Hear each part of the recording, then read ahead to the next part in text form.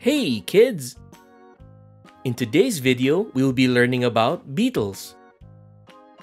Are you ready? Let's begin!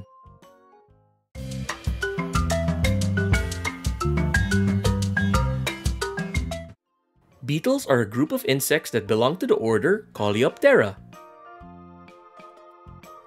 Coleoptera is the largest order in the animal kingdom, comprising about 400,000 described species. Beetles are incredibly diverse, found in almost every habitat on Earth, from forests and deserts to freshwater environments. There are also parasitic beetles like the rove beetle, which lives inside the nest of ants or termites. They benefit from the protection and resources from their host.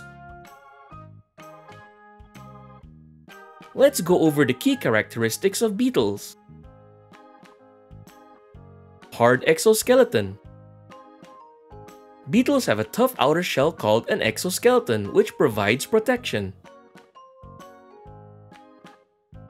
Elytra The most distinctive feature of beetles is their elytra, which are not used for flying but rather for protection. When a beetle wants to fly, it lifts the elytra to expose the membranous hindwings, which are used for flight. Antenna Beetles have well-developed antennae, which they use for sensing their environment. The shape and the size of the antenna can vary greatly between species. Variety of shapes and sizes Beetles come in a wide range of shapes, sizes, and colors. Some are brightly colored and metallic, while others are dull and camouflaged to blend into their surroundings. Mouth parts Most beetles have chewing mouthparts and they feed on a wide variety of materials, including plants, other insects, fungi, and decaying organic matter. Now let's go over the life cycle of beetles. Beetles undergo complete metamorphosis, which includes four stages.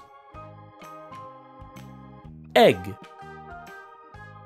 The female beetle lays eggs, often in a protected environment like inside wood, soil, or leaves. Larva The larval stage is usually worm-like, and in many species, the larvae are called grubs. During this stage, they eat a lot and grow quickly. Pupa In the pupal stage, the beetle undergoes transformation.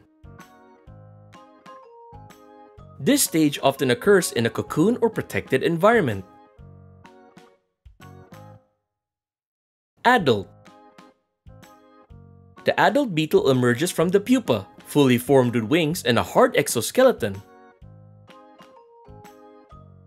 It then continues the cycle by mating and laying eggs.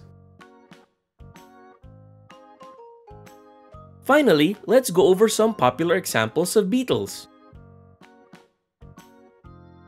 Ladybugs Known for their bright red and black spotted bodies, ladybugs are beneficial insects that eat aphids and other plant pests. Stag beetles Recognizable by their large mandibles, stag beetles are often dark and shiny. Dung beetles These beetles are famous for rolling dung into balls, which they use for food and to lay their eggs in. Fireflies Although called fly Although called flies, fireflies are actually beetles.